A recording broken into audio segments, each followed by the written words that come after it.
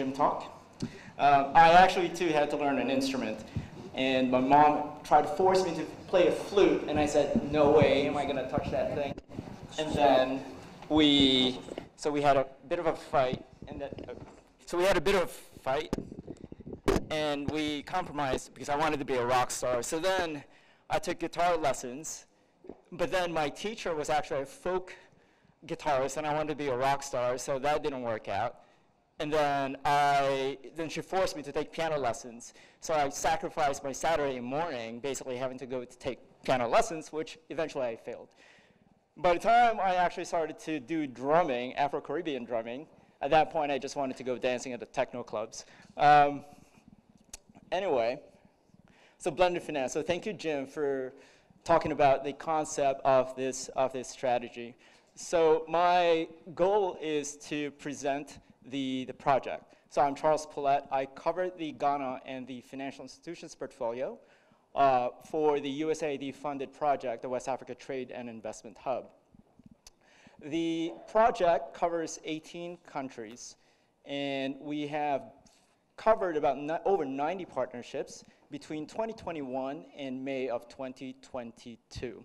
And that 91 partnerships actually involve over $75 million in, in grant agreements covering various sectors and uh, value chains, over 30 value chains, but predominantly it's agriculture.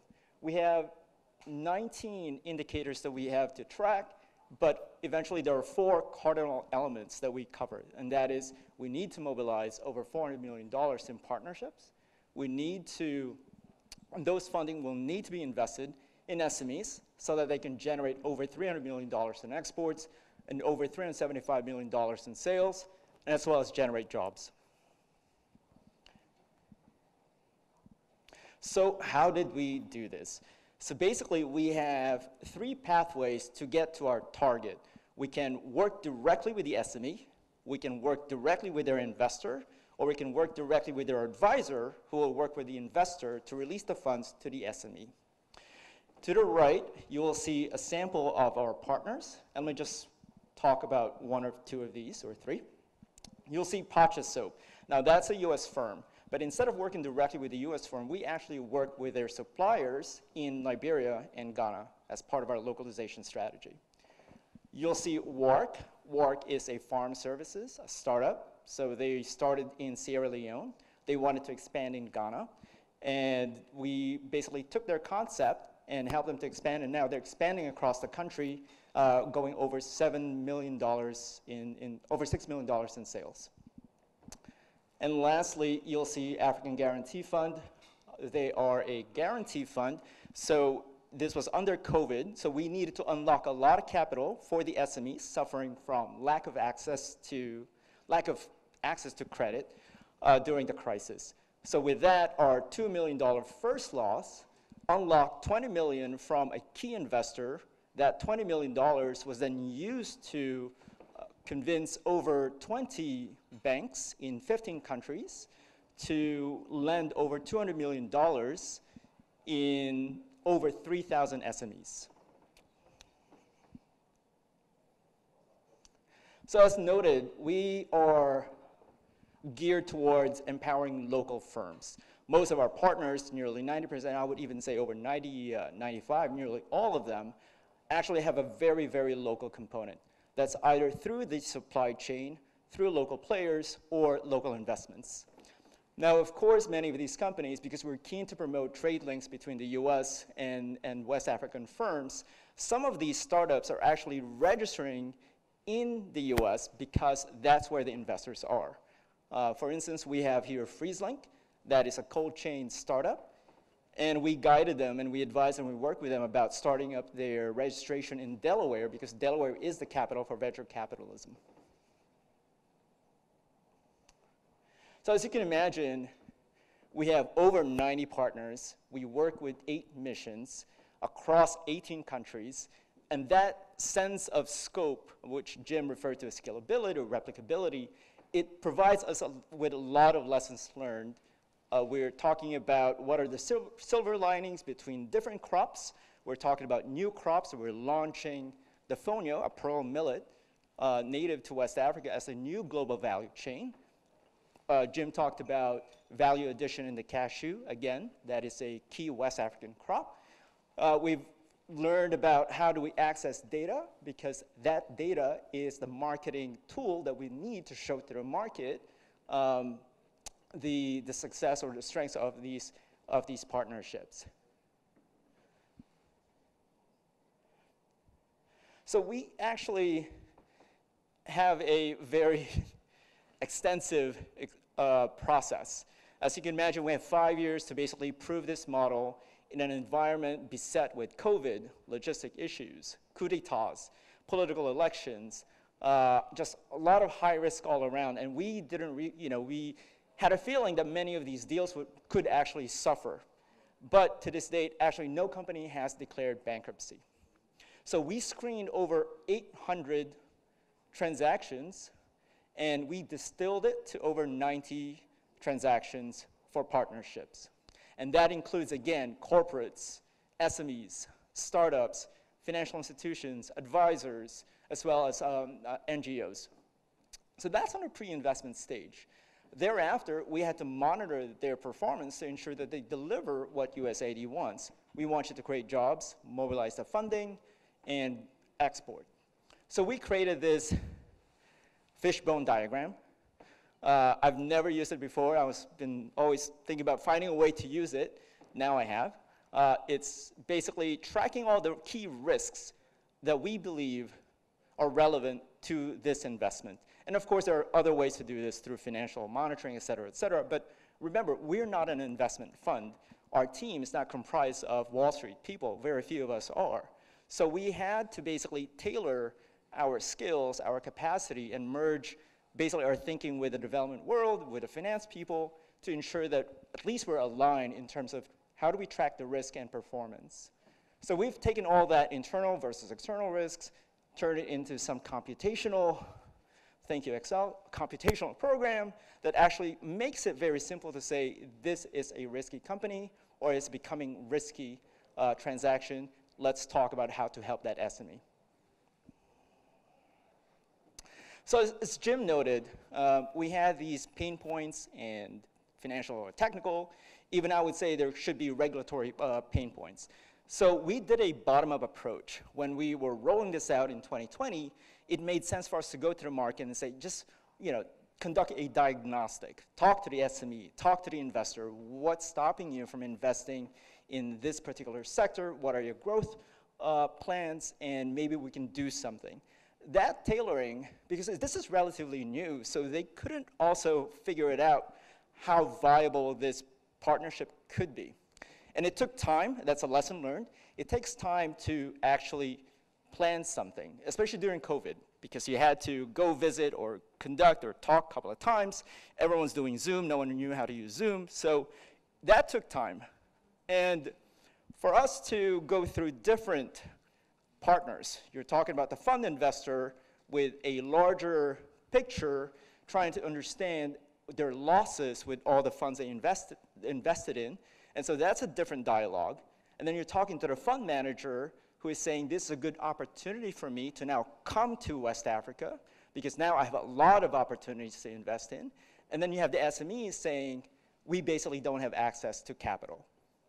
So again, all that was couched under the understanding of will this be a sustainable investment? Will, can we scale this? And can we replicate it? For instance, through this partnership, we've actually launched the first impact fund in Cabo Verde. Now, Cabo Verde is a very small uh, country, uh, a dot on the map. Uh, I hope no one's here from Cabo Verde.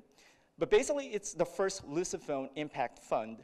So with that small fund that we're seeding, now there are dialogues about turning that 10 million fund into an 80 million fund involving key investors. In terms of replicability, we've launched uh, our first financial institutions partners was with CordAid and so and DFC. We launched the West Africa uh, Bright Future Fund, and in 2021, they started to engage with DFC about launching the East Africa version of that. So our products, again, depending on who the partner is, we've tailored the products to reflect their pain points. And I'll give one example. Uh, Lofty Inc. Um, in Nigeria was able to use three products. They used their grant as cash collateral to go to the bank to get venture debt for their portfolio of ag techs.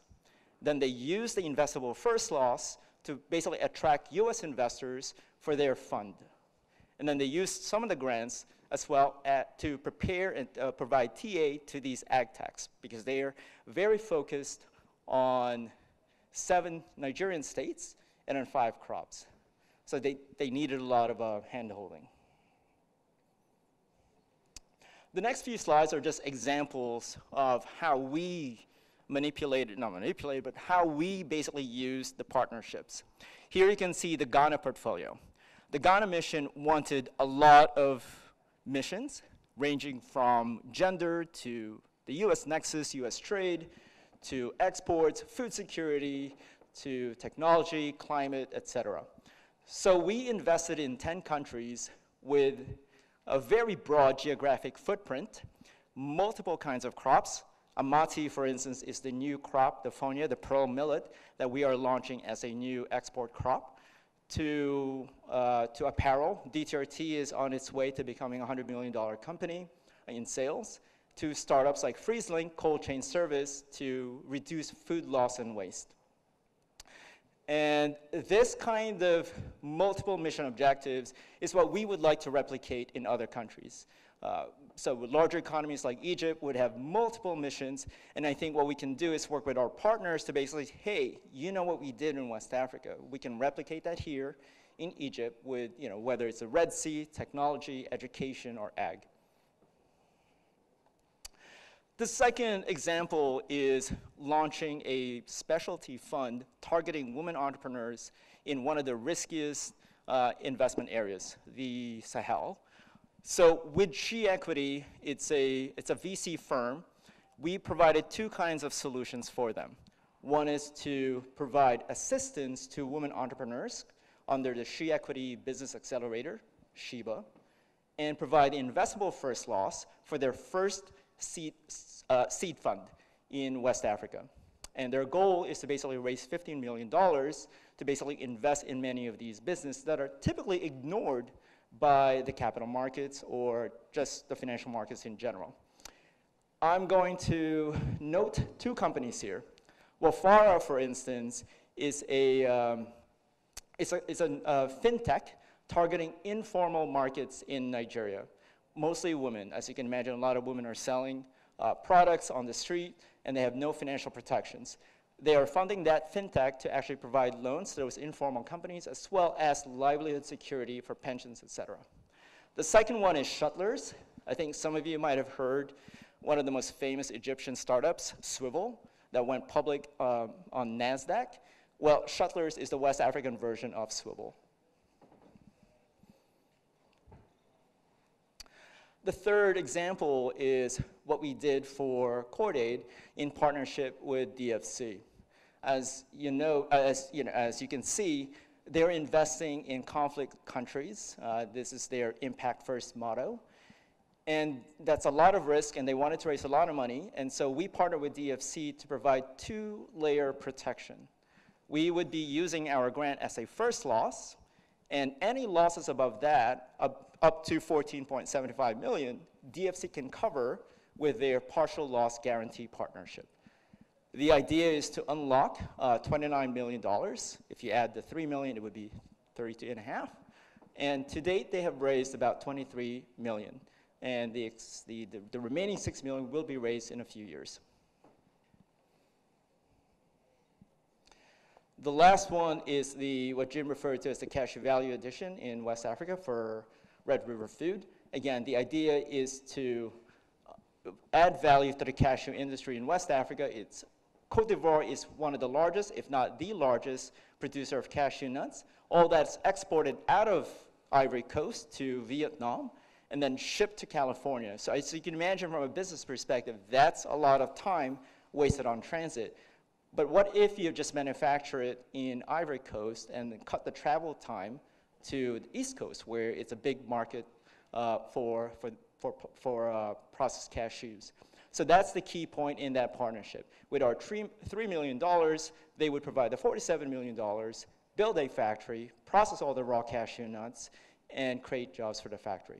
We believe this sense of value addition, if we take a look at the Egyptian economy, when we looked at the OEC chart, there were comments about how apparel and some of the uh, processed foods can be actually be scaled and further value added. So that's one sector that we could target in Egypt. So what are the outcomes? Uh, for us, again, you know, challenging macro environment with the COVID-19, inflation, et cetera, working with eight missions, uh, wanting us to work on so many different sectors across different geographies, across different, with different expectations. Uh, what we've done so far within these three years is that through our partnerships, we think we will be able to raise more than $500 million in capital. What you're seeing here, $300 million, excludes the impact of cash unlocked by the AGF partnership. So by adding that over, once that's validated, it would be over $500 million. And the SMEs at that point, uh, three quarters of that, is basically triggered by that partnership with multiple banks across the region. With that, I want to say thank you very much. Actually, sorry, one more slide. Uh, lessons learned and what are the next steps? So what we've learned is that it took time for some of the partners to really understand what we want because it's not something they're used to hearing from USAID. So when we began to talk to them about their own vision for expansion, for growth, or pain points, we're now able to say, well, well, then we'll focus on that particular pain point, and can you deliver the rest? And that's where we then co-create with both USAID and both the partners to make sure that what, the, what they agree on is doable. So for the next steps for us, we've actually identified partners from West Africa that are also in Egypt. This includes a supply chain fund uh, targeting organic um, exports. Their key market is in the US, but it's a, actually a Dutch company. We are looking at a VC firm uh, that's actually here, actively looking at new technologies that can be expanded and scaled across MENA. We are looking at um, PE firms as well that might be interested in expanding in the largest market in, in MENA. So the next step is to align all these missions together and then begin to initiate the structuring in terms of uh, what sectors, which areas, which regions, or what themes you would like to, to, uh, to, to prioritize. So with that, thank you very much.